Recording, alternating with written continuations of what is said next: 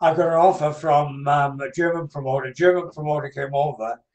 They actually thought I was an American, but I was the only one that they saw that they actually wanted out there. Now, um, Bret Hart wanted to go out there.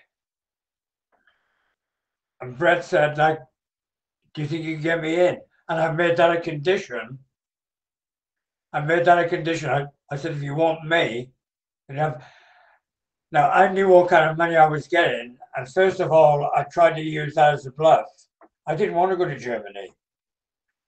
I used that as a bluff and said, hey, listen, if you don't give me like a lot more money, I'm going to Germany. And he played my bluff because he didn't think I'd go. But anyway, if I say I'm going to do something, you'll follow through. I've got to do it, no matter what it is. So anyway, uh, that that is what I did. I made a condition, and it was me that actually got um, Bret Hart to Germany. Now another brother, Keith, who I really didn't like, came up to me. He said, "You got oh." He asked me to get Neidhart in as well. I got Jim Neidhart out there. It was down to me that both Neidhart and Bret Hart actually went to Hanover. Then Keith Hart came up and said to me, you know, you got Neidhart and Bret over there. Can you get me in? I said, I could, but I won't. He said, why not? I said, I don't like you.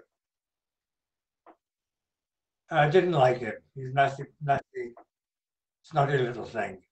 Uh, which of the because you work with Keith, you work with Bret, you work with Bruce, I believe as well. Uh, among the Hart boys, which of the one, which of the Harts did you think was most talented? And at the time, who who did you think was going to go the furthest? Um, Bret.